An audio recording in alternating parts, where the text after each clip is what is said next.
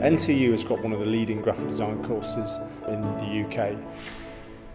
The course is growing massively. Um, the student numbers have gone up um, and its reputation is, is growing as well. We were aware that there was a, a limitation in terms of the opportunities we had for the students to realise their ideas and produce their ideas effectively in print. We needed to be able to have a way of printing white from doing research um, and going to a few trade shows, I saw that the Oki was actually well above what else was offered out there. And it specifically was a graphics art printer rather than a laser printer, which is exactly what we wanted. An Oki isn't about a basic print room service, it's about a specialist graphics printer. The capability of the printer is quite unique in comparison to digital print, where we're not able to print white or spot varnishes onto coloured cards. That wasn't possible. Before we had that printer. The flexibility of the media handling is, is exceptional. One of the benefits that we get from the Oki printer is the fact that we can put thicker media through it. Uh, we've been limited previously to about 220 GSM. The printer that we've got with the Oki will go 300 and above. One of the things that we needed to be able to do was foiling, which is a process where we put foil over the top of the print um, and the foil sticks to the toner that's been printed. The Oki provides us with a far more denser level of toner to use foiling with.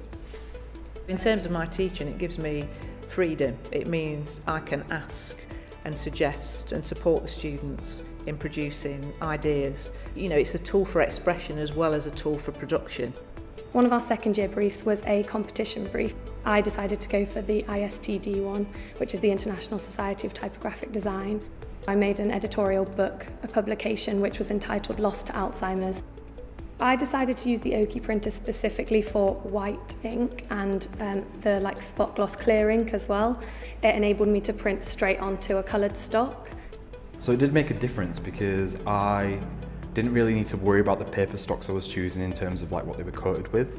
So I could pick a 350 GSM like a, you know, a shiny coated paper or a matte paper and know that I could put it through a, you know, an LED laser printer.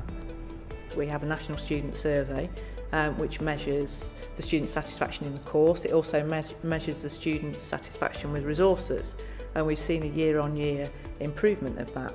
I think part of that is the fact that we're now putting in a very robust print system um, and which the OAK is, is part of.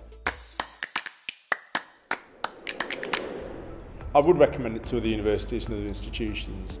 I think it's something that you, students really value. We've seen it the opportunity this provides the students with for really great value, um, I would hand on heart just say get one of these printers in your art course. You know if you're graphic arts if you yeah any kind of creative creative course that requires students to think outside the digital and articulate and realize outcomes in the physical form you know to see this as a specialist tool yeah 100% get one.